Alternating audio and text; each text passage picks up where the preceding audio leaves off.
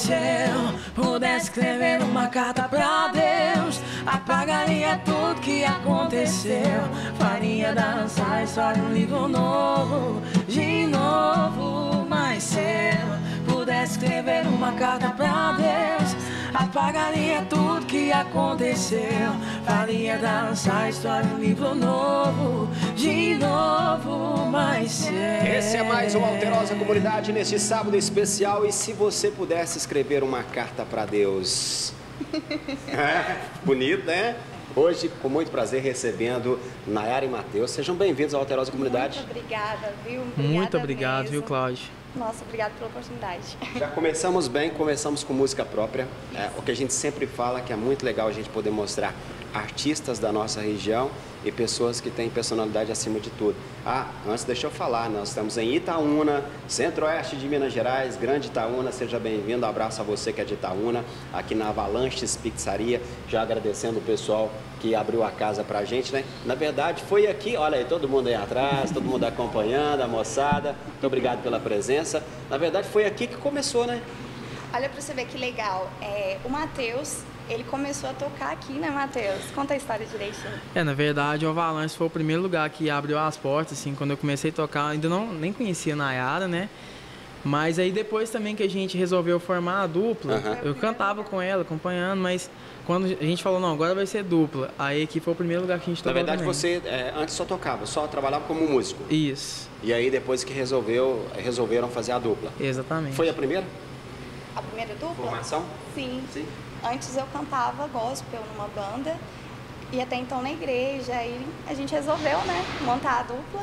E por, por coincidência, ou porque Deus quis, foi aqui, o primeiro lugar que a gente tocou e que ele tocou também. Foi muito legal. Pois é, essa história é Coincidiu. longa, porque depois tem um monte de coisas. Vocês. Daqui a pouco eu vou contar o que aconteceu na vida desses dois, mas mudou assim, bem radical, assim, de gospel para sertanejo. Foi, mudou bastante. Porque na verdade eu sempre gostei do sertanejo, né? É, família sempre ouviu. Só que quando eu comecei a frequentar a igreja, que eu descobri que eu tinha o dom de cantar, né? Mas eu sempre gostei de cantar desde criança.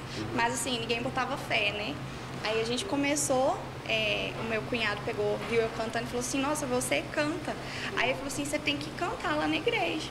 Aí foi onde que começou.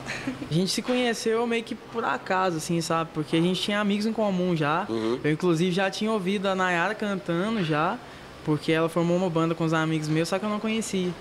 Aí, um certo dia, ela recebeu um convite para tocar num bar aqui da cidade e ela não tinha um músico para acompanhar ela. Precisava de alguém. Exatamente. Apareceu quem? Apareceu esse amigo meu, na verdade. Era outro. Exatamente. Só que ele não tocava violão, então ele me indicou para ela. Aham. E aí a gente começou a tocar, eu gostei demais dela cantando e a gente viu que rolou, rolou, sabe, o som deu certinho, foi tudo, As vozes encaixadas. é, as mas- vozes combinadas, né, Naya? E aí a gente resolveu seguir como dupla. O que que você gosta de ouvir quando tá em casa? Eu gosto de ouvir Nando Reis. Não Reis. Nando Reis. Matheus. É, eu também, eu gosto de ouvir um pouquinho de tudo, na verdade, gosto de samba, gosto de MPB, sertanejo também demais, escuto muito. Eu também ouço, mas assim, em casa, pro meu lazer, assim, quando eu tô tranquilo, eu gosto de ouvir. Mas porque já canta sertanejo, É. aquela coisa toda, tem que dar uma relaxada, tem que ouvir uma coisa Isso. diferente, né? É, eu gosto de ouvir essas coisinhas diferentes. Falando em música, vamos cantar? Vamos. Vamos lá então?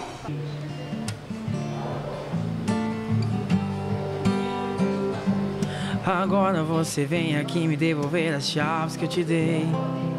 Dizendo que vai embora e nessa casa você não fica nem um dia mais. E que agora tanto faz.